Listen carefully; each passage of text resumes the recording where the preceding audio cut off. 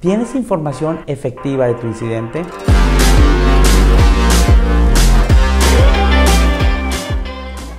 Es muy importante cuando sucede un incidente interno o un incidente externo, viendo el punto de vista de seguridad patrimonial y de los sistemas de gestión como CityPad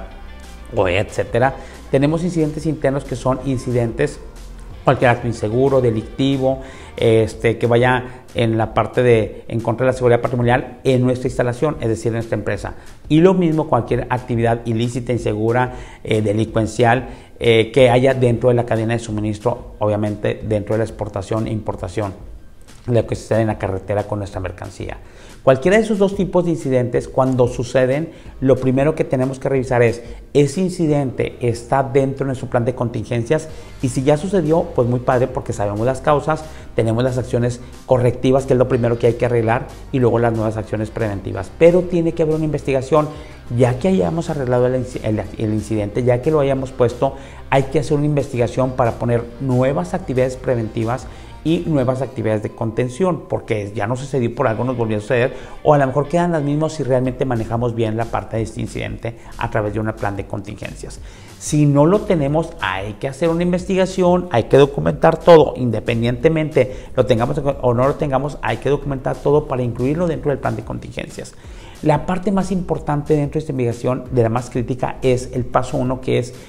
contar con la información importante del incidente, si es en la cadena de suministro, la parte de la papelería, quién involucró, el equipo de transporte, la parte de los BLs, la parte de la facturación, cuándo estuvo en la planta, cuándo lo cargaron, la inspección de compartimentos ocultos, etcétera, etcétera, etcétera. Lo mismo cuando es un incidente interno, quién fue el que el agente involucrado, hay expedientes de la gente involucrada, el tipo, el área donde sucedió, toda la parte del hecho, cómo sucedió, la parte de la logística del incidente. Toda esa información es bien importante que la tengamos para poder hacer una buena investigación y esta buena investigación que me arroje la parte de las causas, la parte de los responsables y la parte muy importante de las nuevas actividades preventivas o la modificación actualizada de la modificación de las actividades preventivas y las actividades de contención con el objetivo de que ese incidente tenga el menor impacto eh, de cualquier tipo económico, personal, en la parte de daño de activos, etcétera, para que, para que afecte lo menos la empresa y nos cueste menos